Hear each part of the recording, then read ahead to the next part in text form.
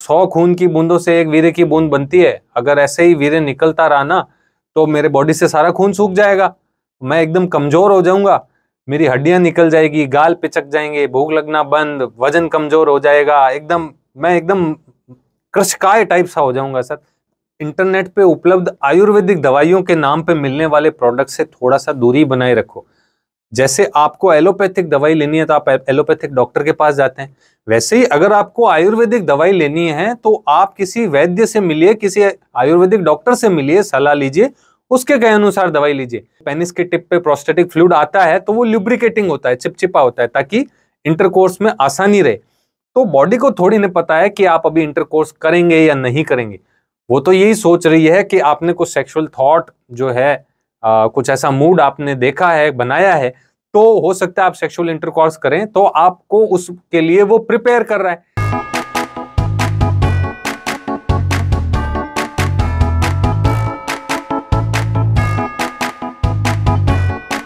नमस्कार दोस्तों मैं हूँ डॉक्टर अनंत राठी मनोचिकित्सक एवं नशा मुक्ति विशेषज्ञ बीकानेर राजस्थान से। दोस्तों, जो धात सिंड्रोम को रोग मानने वाले लोगों की अज्ञानता के खिलाफ हमने जो एक मुहिम चालू कर रखी है वीडियो में तो उसी कड़ी में हमारा ये अगला वीडियो है। दोस्तों, कुछ दिन पहले एक 18 साल का लगभग बच्चा आया था और आकर के बोला कि, सर, मैं तो बहुत परेशान हो गया हूँ और रोज जो है वो पेशाब के साथ साथ कुछ चिपचिपा पदार्थ निकल रहा है बॉडी के अंदर से और आप इसको कैसे करके रोको? मैंने उससे कहा, इसमें आपको प्रॉब्लम क्या है भाई? तो कहे, नहीं सर, इसको रोकना बहुत ज़रूरी है। मैंने कहा, क्यों ज़रूरी है? तो उसने कहा, सर, सौ खून की बूंदों से एक वीरे की बूंद बनती है। अगर ऐसे ही वीरे निकलता रहा ना तो मेरे बॉडी से सारा खून सूख जाएगा। मैं एकदम कमज़ोर हो जाऊँगा। मेरी हड्डियाँ निकल जाएगी, गाल पिचक जाएँगे, भूख लगना बंद, वज़न कमज़ोर हो जाएगा, एकदम, मैं एकदम कृषकाय टाइप सा हो जाऊँगा, सर। मैंने कहा, ये तूने पढ़ा कहाँ से भाई? कहाँ से लाया तू ये जानकारी? तो उसने कहा, डॉक्टर साहब, मैंने कई वेबसाइटों पे सर्च कर लिया इंटरनेट पे। बहुत सी जगह ये लिखा हुआ है कि अगर आपका धात गिर रहा है तो आपके साथ भविष्य में ये ये ये होगा। अगर आपको रोकना है तो हमारा प्रोडक्ट मंगवाइए। हमारे प्रोडक्ट कितने का है? महीने का पंद्रह हज़ार रुपए का। उसमें मैंने एक बार मंगवा भी लिया, डॉक्टर साहब, और तीन डब्बे आ गए। अब उसके अंदर कोई चूर्ण थे। पता नहीं क्या चूर्ण था उसमें, क्या था? भगवान जाने, मैंने उन डिब्बों को भी खाली कर दिया। लेकिन दांत गिरना नहीं रुका, उल्टा उससे मेरा पेट ज़रूर खराब हो गया। तो मैंने उसे कहा, भाई मेरे, एक तो हर इंटरनेट पे उपलब्ध आयुर्वेदिक दवाइयों के नाम पे मिलने वाले प्रोडक्ट से थोड़ा सा दूरी बनाए रखो। जैसे आपको एलोपैथिक दवाई लेनी है तो आप एलोपैथिक डॉक्टर के पास जाते हैं। वैसे ही अगर आपको आयुर्वेदिक दवाई लेनी है तो आप किसी वैद्य से मिलिए, किसी आयुर्वेदिक डॉक्टर से मिलिए, सलाह लीजिए, उसके कहे अनुसार दवाई लीजिए।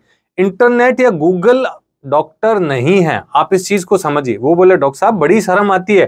किसके पास जाए, किसको बताएँ ये प्रॉब्लम मैंने कहा, अरे भाई, डॉक्टर से किस बात की शर्म? डॉक्टर से क्या छुपाना है? कोई बीमारी को आप नहीं बताओगे तो फिर प्रॉब्लम ही होगी। आप डॉक्टर से बताते तो सही। और पहली बात आप इस चीज़ को समझिए कि धात कोई रोग नहीं है।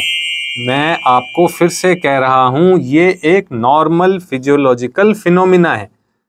तो इसको क्यों रोकना है? आप उसी तरह कह रहे हैं कि डॉक्टर साहब, मैं सामने तो मेरे को पसंद तो पाव भाजी बहुत है, लेकिन कुछ ऐसी व्यवस्था कीजिए पाव भाजी देखे तो मेरे मुँह में लार नहीं गिरनी चाहिए। अरे, ये कैसे पॉसिबल है भैया? जो भोजन आपको पसंद है, उसकी खुशबू से, उसकी एक झलक मात्र से आपके मुँह में लार बनती है। बनती है या नहीं बनती? बिल्कुल बनती है। तो वैसे ही जब हमारे दिमाग में कोई सेक्सुअल थॉट्स आती हैं, कोई ऐसा विचार आता है तो फिर हमारी बॉडी उसके रेस्पॉन्स में जो है प्रोस्टेटिक फ्लूड सिक्रीट करती है जिसको आप जो है वीर्य समझ रहे हो ये है एक्चुअल में प्रोस्टेटिक फ्लूड बॉडी अपने आप को लुब्रिकेट कर रही है। जो है वो पेनिस के टिप पे प्रोस्टेटिक फ्लूड आता है तो वो लुब्रिकेटिंग होता है चिपचिपा होता है ताकि इंटरकोर्स में आसानी रहे। तो बॉडी को थोड़ी नहीं पता है कि आप अभी इंटरकोर्स करेंगे या नहीं करेंगे। वो तो यही सोच रही है कि आपने कुछ सेक्सुअल थॉट जो है आ, कुछ ऐसा मूड आपने देखा है बनाया है तो हो सकता है आप सेक्सुअल इंटरकोर्स करें तो आपको उसके लिए वो प्रिपेयर कर रहा है। इसके लिए वो आपको सिक्रीट करता है प्रोस्टेटिक फ्लूड लेकिन आप सेक्सुअली एक्टिव नहीं होते हैं तो फिर वो जो फ्लूड जो है हमारी यूरिथ्रा के अंदर आ गया है वो यूरिन करने से पहले वो बाहर निकल आता है। तो इसमें प्रॉब्लम क्या है? ये तो एकदम नॉर्मल चीज़ है। तो फिर उसको थोड़ा थोड़ा समझ आने लगा कि ये तो वास्तव में जैसे हमारे मुँह में लार बनती है खाने को देख के, वैसे ही सेक्सुअल थॉट आने पे हमारे जो है वो प्रोस्टेटिक फ्लूड सीक्रेट होता है बॉडी से। तो ये तो एक नॉर्मल सी बात हुई। तो भी वो बोला कि, डॉक्टर साहब, इसको रोकने के लिए मुझे क्या करना है? क्या करूँ मुझे? आप बताइए। मैंने कहा, देखिए, पहली तो बात, इसको रोकना ज़रूरी नहीं है। अगर आप समझते हो कि ये बीमारी है तो पहले तो ये सोचो कि बीमारी नहीं है, रोकना ज़रूरी नहीं है। फिर भी आपको लगता है कि नहीं, मुझे तो रोकना ही है, मैं बहुत एम्बरेस्ड फील करता हूँ, मेरे को बहुत टेंशन होती है एंगजाइटी हो जाती है, घबराहट हो जाती है। तो इसको रोकने के तीन तरीके हैं। या तो आप सेक्शुअली एक्टिव हो जाओ आप सेक्सुअल इंटरकोर्स करेंगे रेगुलरली तो अपने आप जो है सीमन जो है वो सेक्सुअल इंटरकोर्स के दौरान निकल जाएगा तो आपको धात नहीं गिरेगा नंबर वन तरीक। तो बोला, डॉक्टर साहब, मैं तो कुमारा हूँ, ना मेरी कोई गर्लफ्रेंड है, मैं शादी से पहले ऐसा कुछ नहीं करना चाहता। तो मैंने कहा, आप ऐसा नहीं करना चाहते तो आप मेस्टरबेट कर सकते हैं, जिसमें भी आपका सीमन जो है वो डिस्पोज ऑफ़ हो जाएगा। तो उसने बोला, डॉक्टर साहब, मैं मेस्टरबेट नहीं करना चाहता, मैं इसको सही नहीं समझता धर्म में भी इसके बारे में कुछ ऐसा लिखा हुआ है, नहीं करना चाहिए।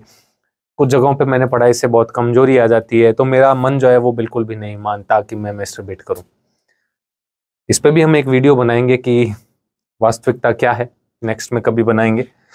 थर्ड पार्ट फिर उसने कहा कि नहीं, ये दोनों मैं नहीं कर सकता तो फिर मैंने कहा, फिर let the body to dispose of इसके अलावा और कोई रास्ता नहीं है, जो ओल्ड सीमन है, जो अब जिसमें अब शुक्राणुओं की क्वालिटी और उनकी लाइफ अच्छी नहीं बची है, उसको बॉडी बाहर निकाल रही है और नया उसकी जगह बना के स्टोर कर लेगी, जो क्वालिटी वाइज अच्छा है, जिसमें स्पर्म की लाइफ अच्छी है। क्योंकि स्पर्म को ट्रेवल करके एग तक जाना है तो अगर उसकी, उसमें एनर्जी नहीं है, उसकी लाइफ एक्सपेक्टेंसी नहीं है तो उस स्पर्म का हमें क्या यूज़ आएगा, उससे कैसे प्रेगनेंसी होगी?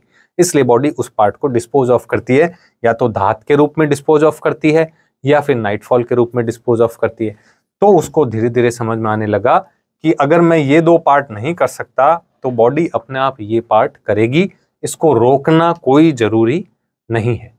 आशा करता हूँ आपको मेरे द्वारा दी गई जानकारी अच्छी लगी होगी। इस वीडियो को ज़्यादा से ज़्यादा शेयर कीजिएगा और मेरे चैनल को सब्सक्राइब कीजिएगा, ताकि मेरे आने वाले अगले वीडियो का नोटिफिकेशन सबसे पहले आपके पास पहुँचे। जय हिंद जय भारत।